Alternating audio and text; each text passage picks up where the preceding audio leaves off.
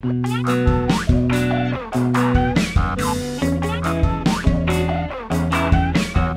merci beaucoup. Bonjour tout le monde. Euh, donc moi, c'est Karen Jax. Je suis Solutions Architect chez Crunchy Data depuis euh, un peu de temps, euh, pas, pas, longtemps du tout. avant, j'étais consultante base de données et avant ça, j'ai passé 20 ans en tant que DBA Oracle. Donc le, l'Oracle, je, connais et je pensais faire une petite présentation là-dessus. Donc depuis à peu près cinq ans, je travaille uniquement avec les bases Postgres et souvent euh, j'aide les clients à migrer depuis Oracle vers le Postgres.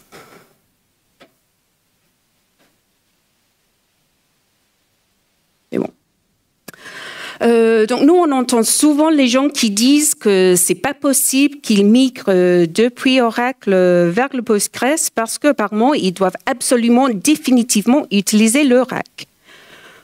Euh, malgré le, prix, la complexité de, de REC, c'est encore euh, très souvent utilisé pour répondre à des, euh, besoins de, disponibilité et de scalabilité, d'extensibilité. Et quand j'étais DBA Oracle, j'adorais le, le REC. J'aimais bien le fait qu'on avait cette, architecture. Et quand je commençais à travailler avec Postgres, je parlais souvent du fait qu'il n'y en avait pas en Postgres, euh, que, ça manquait. Euh, donc, il n'y a pas d'équivalent à RAC en Postgres. Euh, et ça semble décourager beaucoup de gens. Mais est-ce qu'on a vraiment besoin?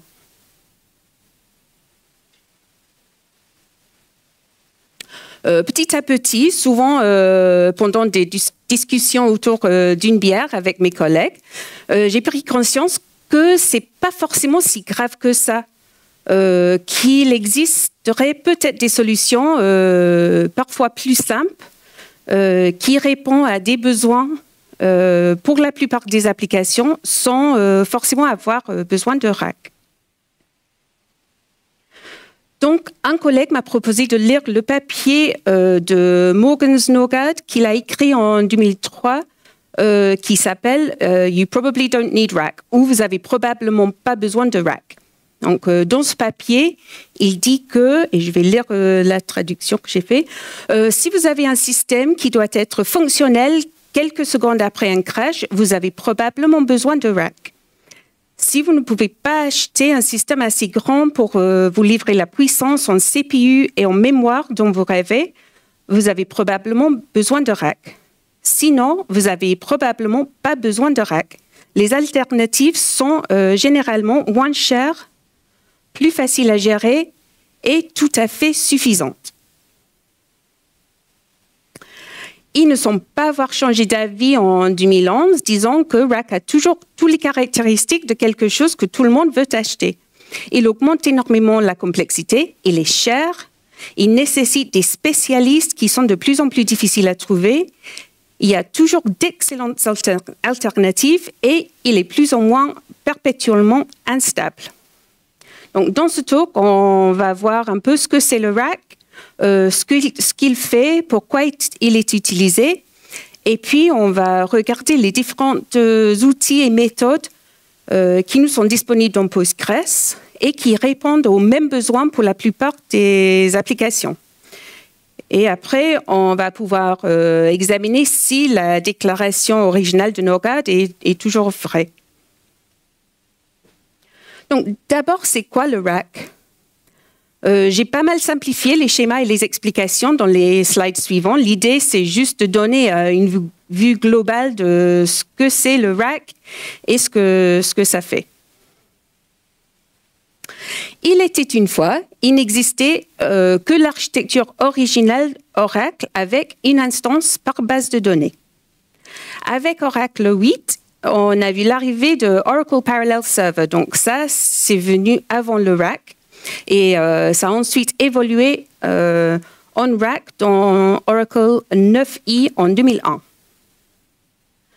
L'architecture RAC nous permet euh, d'associer plusieurs instances à une seule base de données.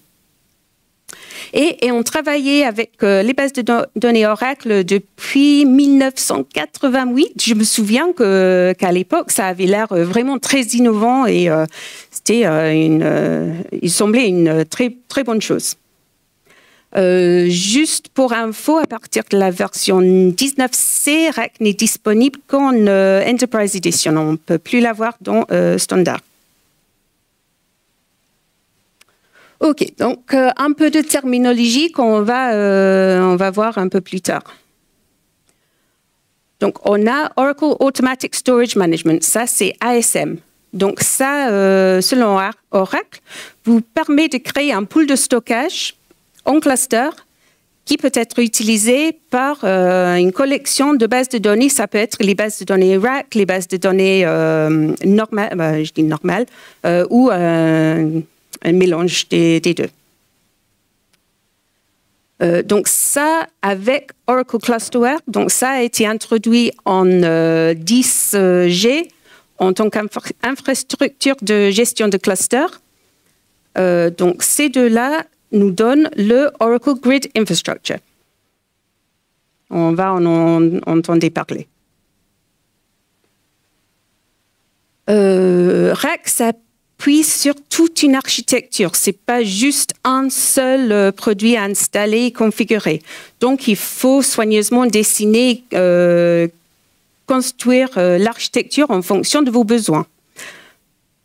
Donc, il y a un guide Oracle. Donc, c'est un guide de deux jours euh, plus de, de RAC qui euh, explique exactement comment faire cette, euh, cette installation et configuration. Mais en gros, il faut s'assurer que les prérequis serveurs sont remplis.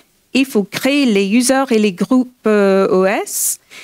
Il faut configurer un réseau entre les serveurs. On configure un stockage partagé, on installe le grid infrastructure, on configure le clusterware, on installe le logiciel rack, et puis enfin, on peut créer une base de données. Donc, euh, comme on voit, ce n'est pas une tâche euh, triviale de, de configurer rack. Quels sont les avantages de rack Oracle cite euh, deux choses. Euh, en première, la haute disponibilité et le scalability, euh, l'extensibilité, c'est-à-dire la capacité de, monter en charge. donc, ils disent que Oracle Real Application Clusters permet aux clients d'exécuter une seule base de données Oracle sur plusieurs serveurs afin de maximiser la disponibilité et de permettre l'extensibilité horizontale tout en accédant à un stockage partagé. les connexions utilisateurs euh, se connectent aux instances Oracle euh, et ils peuvent basculer euh, et rejouer en toute sécurité, c'est tout selon Oracle, les modifications pendant les pannes. Et ils disent aussi qu'il n'y a aucun besoin de, modification des applications et que ça masque l'impact des pannes aux utilisateurs finaux. par contre, il faut se méfier parce que bien que euh, les changements d'application ne sont pas forcément nécessaires. Euh, si on a une application qui fonctionne très bien sur euh, Rack, c'est forcément qu'il a été conçu vraiment avec cette architecture en tête. Il y a un troisième cas d'usage qui est cité par Oracle, c'est de consolider plusieurs bases de données sur un seul serveur. Donc, ils disent de réduire les coûts d'infrastructure euh, et la complexité des environnements en exécutant plus d'instances sur moins de serveurs. Euh, par contre, quand on a des clients qui veulent migrer euh, de ou d'Oracle vers Postgres, on n'entend vraiment pas les gens parler de consolidation d'environnement. C'est vraiment pas un cas d'usage euh, dont on entend parler. On entend plus parler de, virtualisation pour euh, consolider des, bases de données sur un seul serveur. Donc, dans ce talk, je, vais me concentrer sur euh, la disponibilité et l'extensibilité. Donc, considérons la haute disponibilité. RAC permet de minimiser les temps d'indisponibilité imprévus.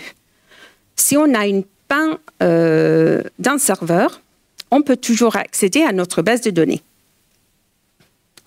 et ça, il faut bien sûr configurer correctement les, accès à la base de données. Donc, les clients qui sont, actuellement connectés sont notifiés. Euh, les nouvelles connexions seront redirigées vers euh, les serveurs, euh, les instances qui restent. Et la panne est masquée sur l'application. Donc, on rejoue les demandes incomplètes de l'application. Là, j'ai un petit schéma. Donc, on crée des services. Donc, on peut créer un service soit sur tous les nœuds, comme euh, le service 1 que j'ai montré dans le schéma là, soit uniquement sur euh, certains nœuds. Donc là, j'ai créé un service 2 qui est juste sur euh, nœuds 1 et 2 et un service 3 sur les nœuds 1 et 3. On peut également spécifier des instances euh, préférées, preferred et autorisées, allowed, pour avoir euh, plus de flexibilité sur euh, ce qui arrive en, cas de panne. L'application va se connecter avec un scan IP, donc ça c'est des adresses virtuelles, des IP virtuelles qui pointent vers le cluster. Donc on se pointe plus vers une seule instance, mais vers tout le cluster et il va préciser un nombre de services. Après, c'est le rack qui va diriger la connexion vers le, bon instance.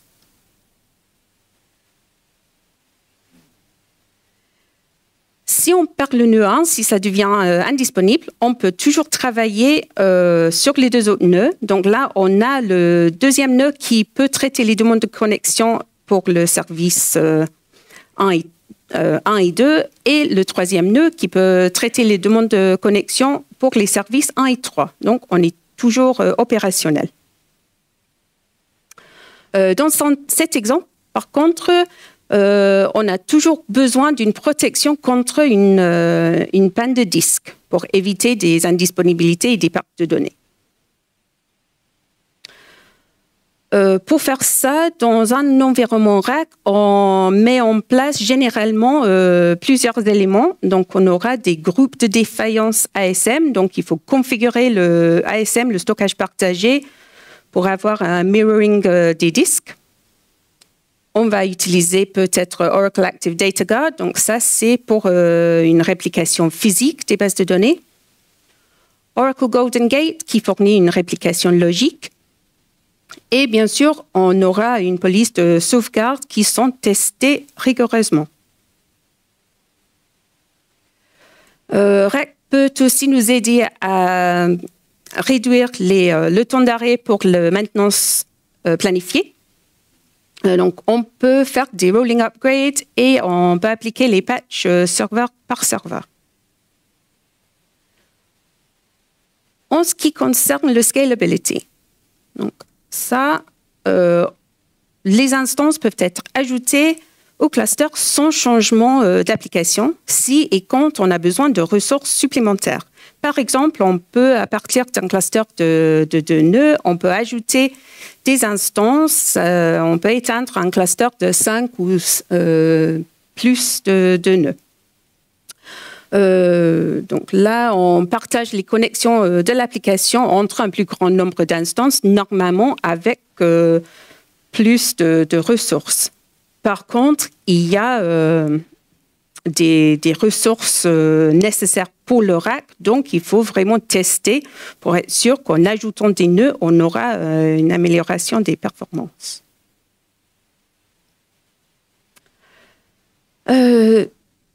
Donc, quand j'ai dit, euh, on a beaucoup de clients qui sont réticents à migrer d'Oracle vers Postgres s'ils utilisent le, rack et ils nous disent pourquoi ils ont vraiment euh, absolument besoin d'utiliser le rack.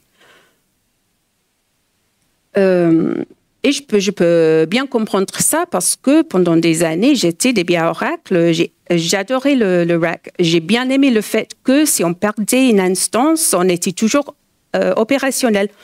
on pouvait même en perdre deux et ça allait toujours. et on avait besoin en fait de, cette rassurance parce qu'on perdait des nœuds assez, assez régulièrement. Donc peut-être si j'avais pas eu recours à, RAC, j'aurais pris plus, j'aurais fait plus attention à comment étaient configurées mes, mes, bases de données pour ne pas avoir ces, euh, ces crashs, ces pertes.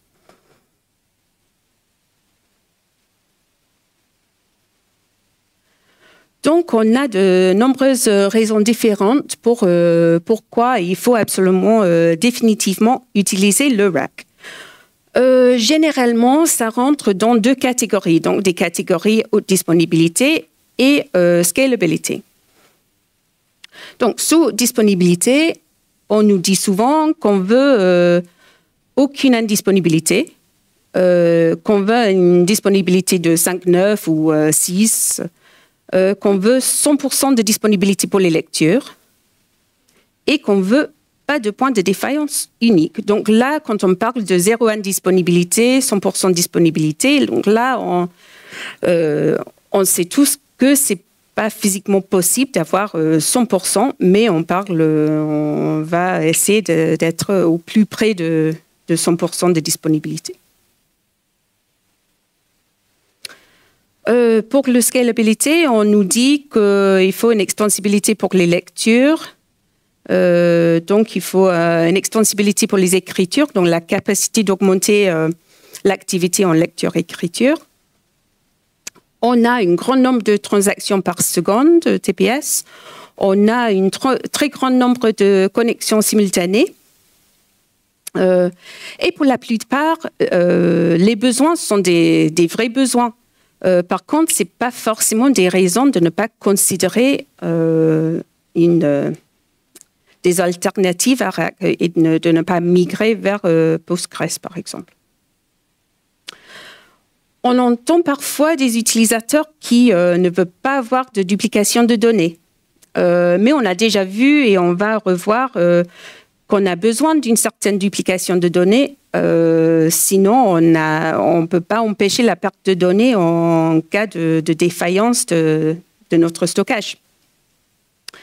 Euh, donc, dans les slides qui suivent, on va regarder un peu les différents besoins qui ont été évoqués. Euh, on va voir les limitations de Postgres et quelles méthodes et outils on peut utiliser pour répondre à ces besoins.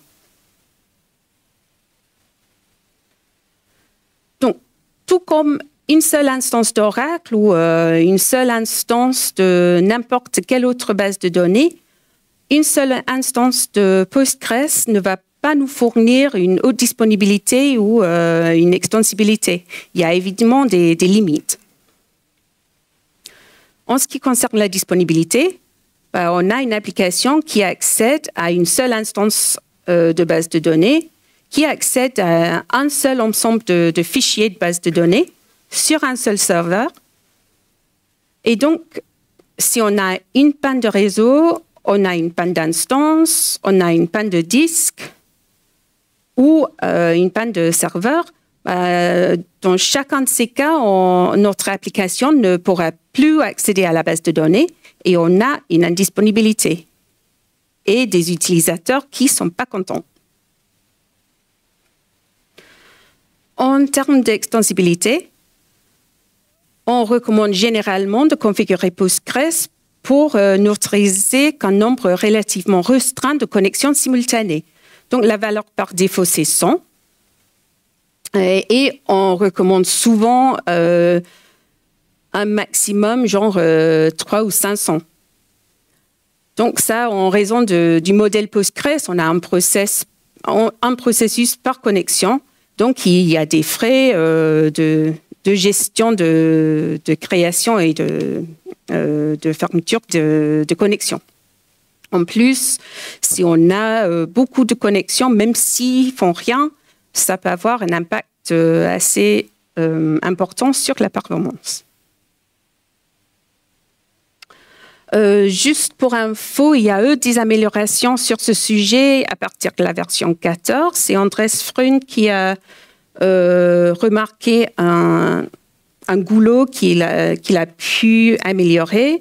Euh, donc, il y a des schémas qui montrent ces benchmarks. Donc là, jusqu'à 10 000 connexions idle, le débit reste stable dans ces benchmarks. Donc, ça ne change pas tout, mais c'est une amélioration. Donc, on, fait des, progrès.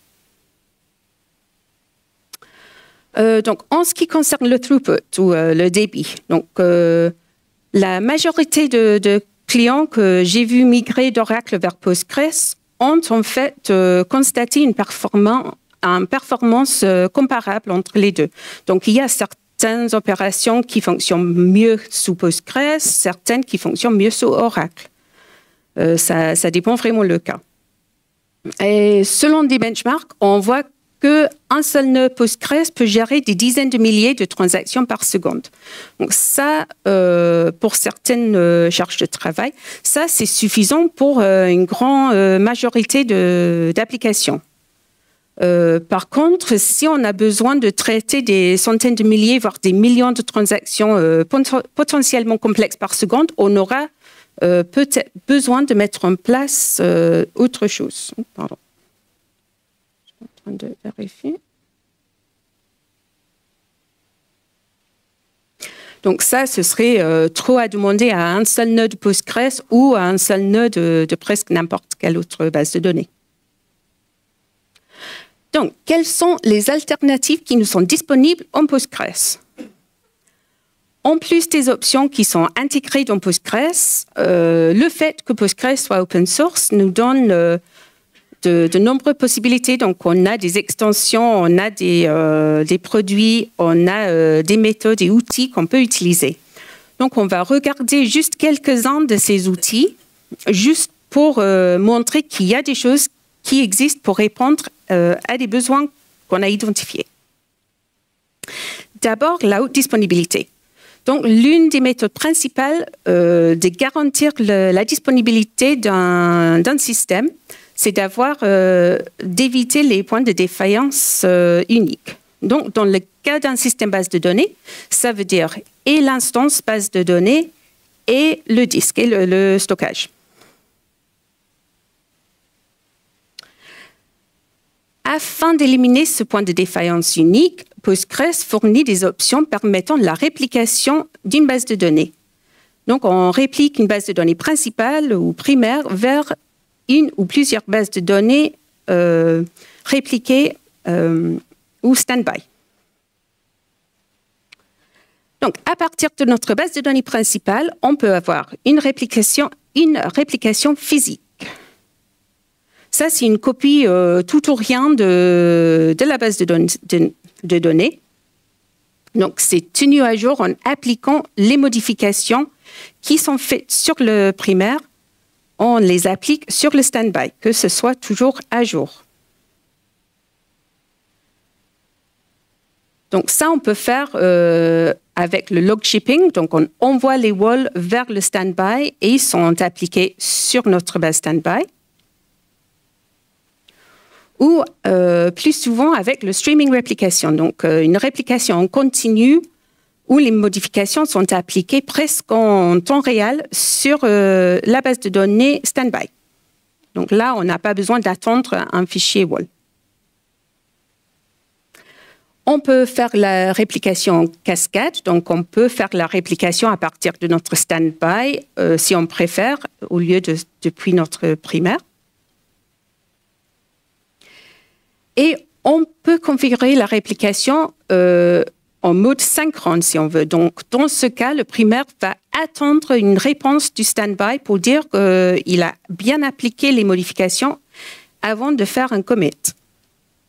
Euh, dans ce cas-là, on sait que toutes nos données euh, sont euh, déjà committées sur notre standby.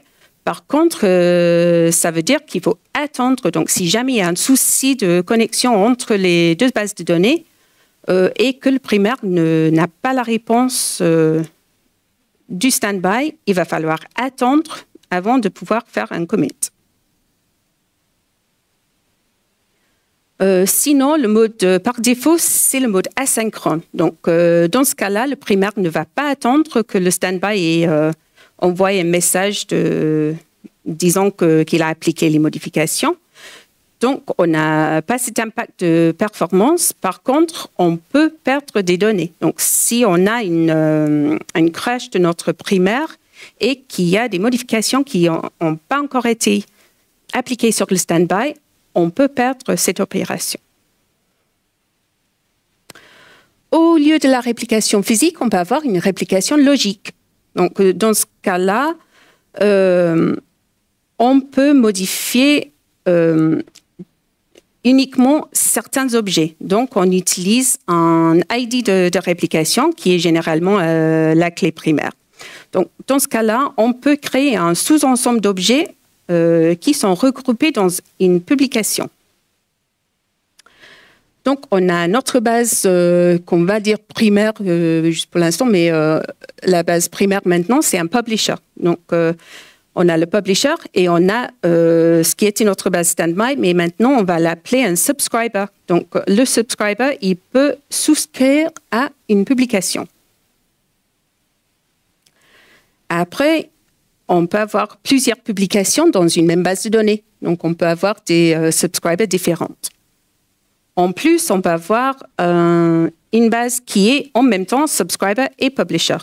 Et contrairement à la réplication physique, là, euh, toutes nos bases sont en mode lecture-écriture.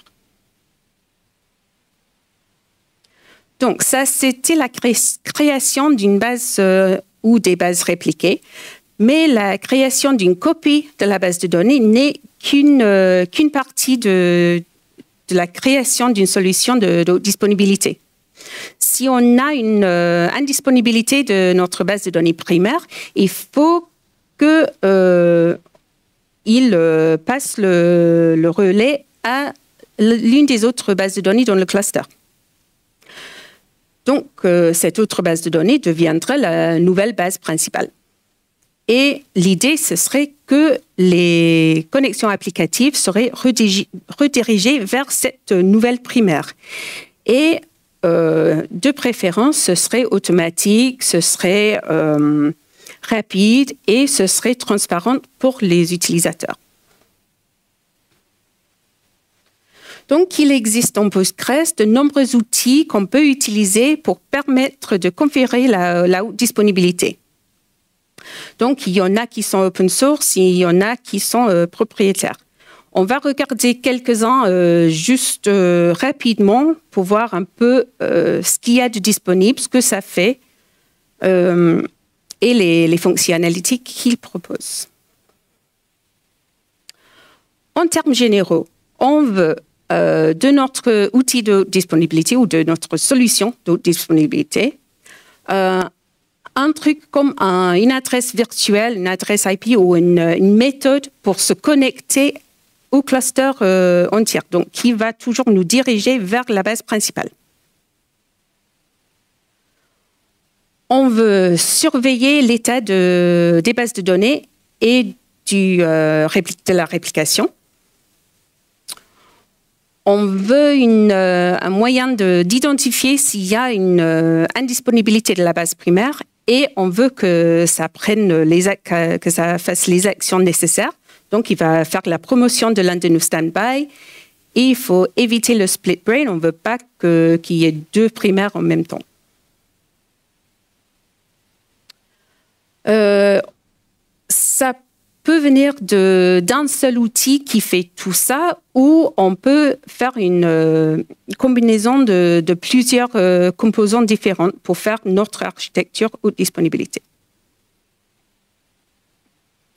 En plus euh, d'éviter les indisponibilités imprévues, on peut réduire le temps de maintenance planifié le temps d'indisponibilité des maintenances planifiées euh, en faisant des switch-over. Donc, c'est là où on dit à notre solution de haute disponibilité qu'on veut changer d'une primaire à une autre.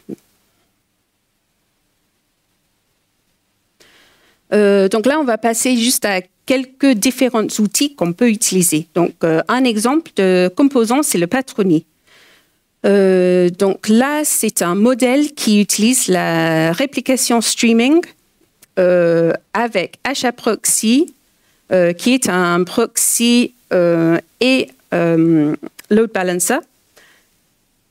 Donc, ça nous permet d'acheminer les connexions vers la base de données primaire. Et il y a des fichiers YAML qui peuvent être configurés pour modifier le comportement selon vos besoins. Donc là, c'est euh, selon la doc Patroni. Je vais passer assez rapidement. Euh, donc là, chez Crunchy Data, on utilise euh, Patroni comme utilitaire de gestion de basculement et etcd comme Distributed Configuration Store ou DCS. Donc, c'est lui qui va contenir les informations sur le cluster. Donc là, euh, c'est un peu comme ça qu'on met en place l'architecture haute disponibilité chez, euh, chez Crunchy Data. Donc là, il y a d'autres composants euh, qui sont dans le schéma, mais on voit bien qu'on a une instance patronie pour la base de données. On a CD, en plus, on a euh, nos outils, euh, bah, nos outils, les, outils de, sauvegarde et de restore et de, euh, monitoring.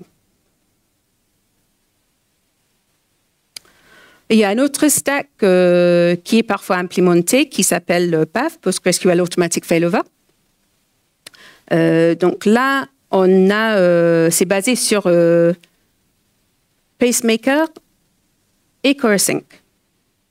Il y a euh, d'autres outils aussi qui permettent de gérer euh, tous les aspects de, la disponibilité. Par exemple, on a EFM de EDB qui, euh, qui fait tout sur un seul outil.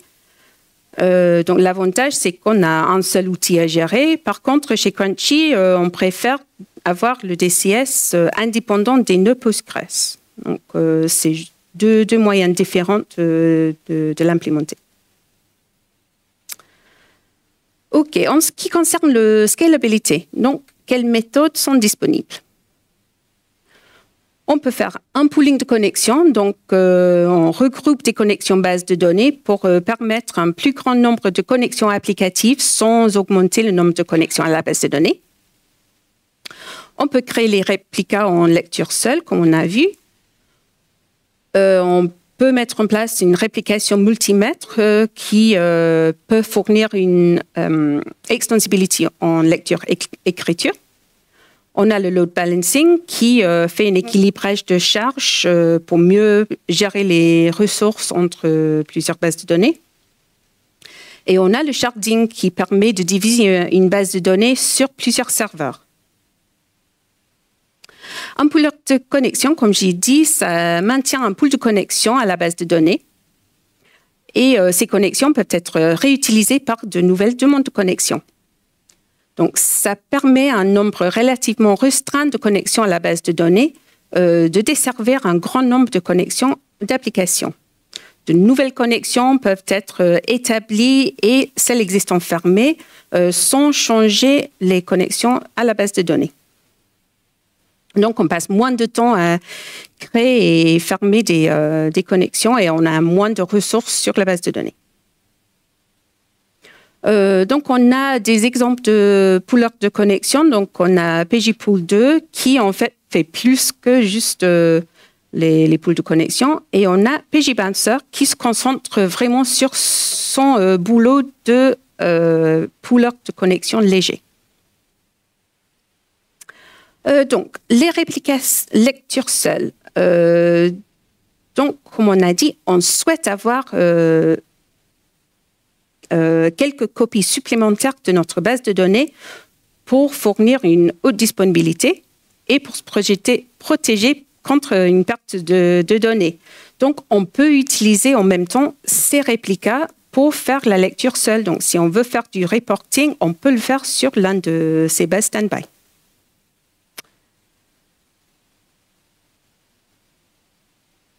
Euh, la réplication multimètre, donc on a vu la réplication logique, donc c'est dans ce, C'est ce genre de choses, mais il y a des outils qui font une, une réplication multi, multi-master. par contre, il y a des applications qui sont mieux que d'autres pour utiliser la réplication multimètre. Donc, ce qu'on veut, c'est éviter des conflits. Donc, là où il y a deux euh, deux instances qui essaient de modifier les mêmes données en même temps. là, il faut décider euh, quelles données garder. Donc, si on a, euh, par exemple, une application qui est distribuée géographiquement et que, pour la plupart, les différentes bases de données vont modifier que leurs propres données, donc ça peut être une bonne candidat pour ce, genre de choses. Donc, un, un exemple d'outils commerciaux qui commercial qui fait ça, c'est le BDR de, de par exemple. Euh, en ce qui concerne le load balancing, donc ça, c'est pour équilibrer la charge entre plusieurs bases de données. Donc ça, euh, l'outil va acheminer les connexions applicatives vers euh, la bonne base de données. Donc, un exemple de ça, c'est PGPool. Et après, on a le sharding. Donc, euh, ça, c'est le partitionnement horizontal de la base de données. Euh, et on met ces partitions sur des serveurs à part. Donc, on peut faire ça nous-mêmes. On peut mettre en place un système de sharding, mais ça nécessite beaucoup de configuration, beaucoup de. Il faut vraiment beaucoup réfléchir sur comment mettre ça en place. Et euh, c'est vraiment très compliqué et pas recommandé. Euh, par contre, il existe euh, des outils, euh, des extensions comme Citus, par exemple, qui permet de faire un charting. Donc, il faut réfléchir sur des choses comme comment gérer l'étape de référence partagée, ou euh, des données qu'il faut accéder, il faut peut-être accéder à toutes les données pour euh, faire du, reporting. Donc, il faudrait peut-être mettre en place euh, les foreign data wrappers ou une réplication logique pour avoir un accès à toutes ces données. Donc ça, c'était un peu les outils, les méthodes qui sont disponibles pour répondre aux besoins de disponibilité et de scalability avec Postgres. Après, euh, on nous demande ben, c'est quelle euh, la meilleure architecture euh, performante et hautement disponible. Et bien sûr, ça n'existe pas. Il n'y a pas de pas d'architecture qui est vraiment adaptée à tout. Donc, ça va dépendre de vos besoins et ça va dépendre vraiment des applications qui vont accéder à la base de données. Euh, il va falloir se poser des questions sur euh, euh, les besoins de l'application, sur le, workload, sur la taille de la base de données, sur là où ce sera hébergé, sur combien de pertes de données on peut accepter, sur le, temps de le temps d'indisponibilité qu'on peut accepter et potentiellement plein d'autres questions. Euh, donc, si on a un workload, on pense à un workload, donc si on a euh, euh, soit quelques transactions par seconde et bah, une trentaine de connexions, soit 50 000 transactions par seconde et 20 000 connexions. Euh, en ce qui concerne euh, la taille de la base de données, on a peut-être juste quelques gigas ou on peut avoir euh, une vingtaine de terras, voire plus. on peut avoir une RPO, donc le, temps qu'on peut attendre avant d'être opérationnel, ça peut être de, de 24 heures ou proche de zéro. Et le RTO, donc, pardon, j'ai fait dans le, mauvais sens. Donc, le RPO, c'est combien de données on peut se permettre de perdre.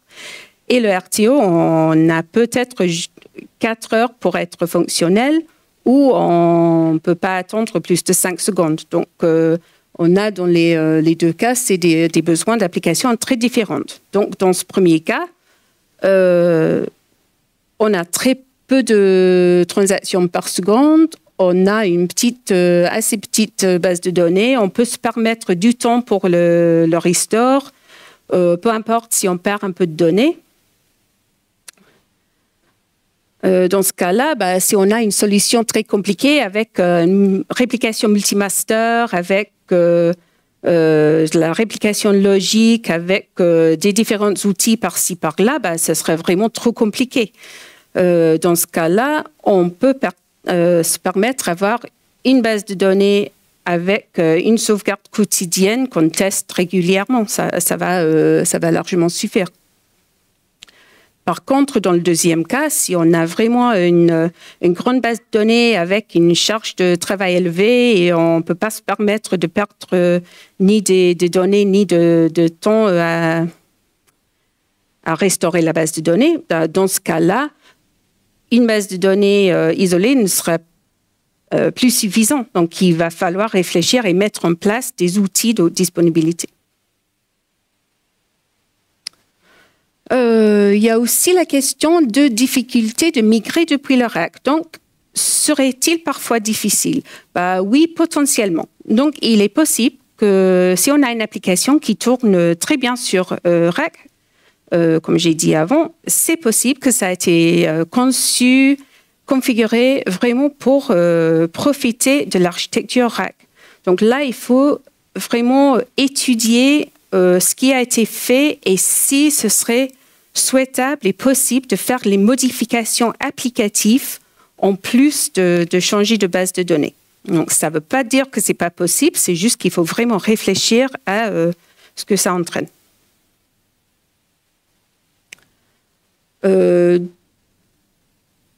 Donc, il faut, euh, il faut penser au profil de l'application, aux besoins de l'application euh, et considérer les, euh, avantages et les coûts d'une éventuelle migration pour voir si vraiment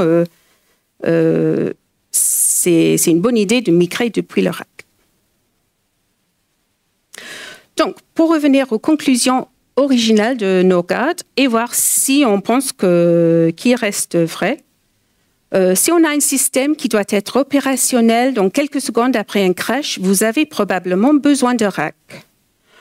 Bah, si c'est le cas, on a sûrement besoin euh, de mettre en place euh, une architecture de disponibilité, ça c'est sûr mais on a vu qu'on a des outils et des méthodes disponibles dans Postgres qui permettent d'être fonctionnels quelques secondes après un crash. Donc là, ce n'est pas forcément RAC dont on a besoin.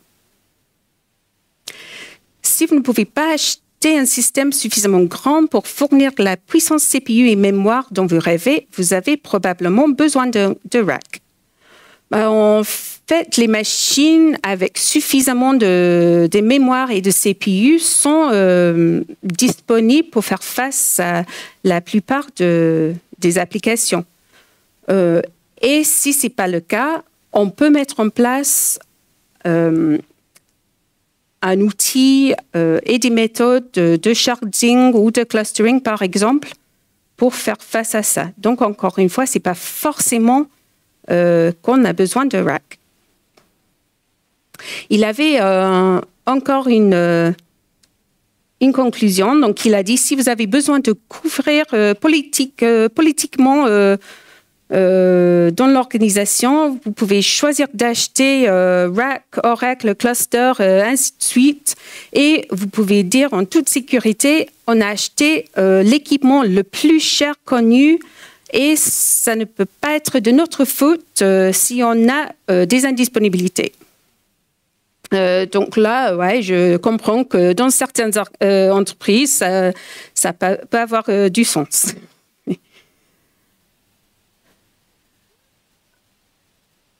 Et je laisse le dernier mot à Norgard parce que je ne peux pas le dire mieux. Donc, sinon, vous avez probablement pas besoin de rack. Les alternatives seront généralement moins chères, plus faciles à gérer et tout à fait suffisants. Et c'est tout. Merci beaucoup.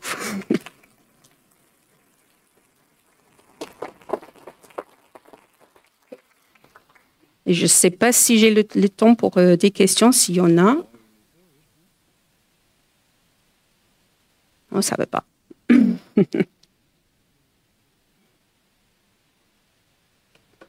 Alors, est-ce qu'on a des questions dans la salle? Merci en tout cas, Karen. Merci beaucoup. Ah.